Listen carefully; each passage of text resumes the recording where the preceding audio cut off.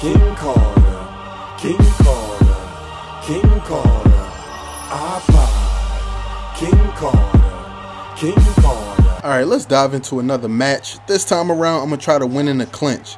Let's see if I can hit this bull with these deadly knees real quick. All right, let me throw a couple regular shots, find the range. Uh-oh, he's shooting in, got the clinch. All right, let me get to the dominant position. Uh-oh, time to spam circle.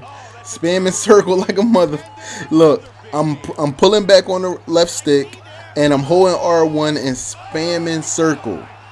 And he's gone. In the first 30 seconds of the match, he is gone. He's not alive. He's there in spirit. That's how you win a game in a clinch. Now let me tell you guys what I did with button presses because I know a lot of people that aren't used to EA Sports UFC and aren't a fan of the UFC don't know what I just did right there. They're just probably like, yo, how did he come in and just beast like that?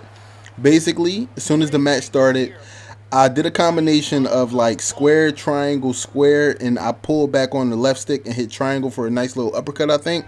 And then as soon as the other fighter tried to find his range and shoot him for a shot, I immediately pushed over.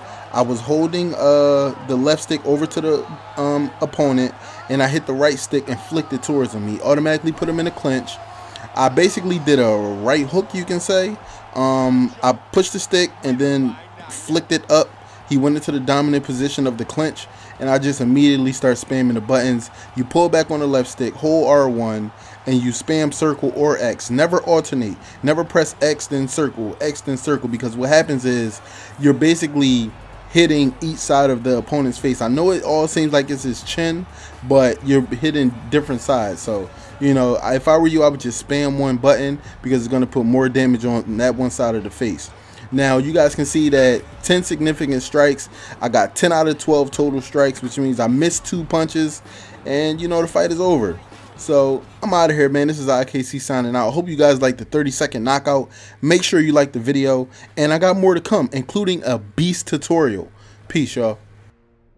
Yerp, this is Siri. Thank you for watching and be sure to like this video. For more videos from this particular mode, click more videos. If you want to see more content from IKC, click subscribe. Oh, and don't forget to follow IKC on Twitter and to like his Facebook page. This is Siri signing out. Peace.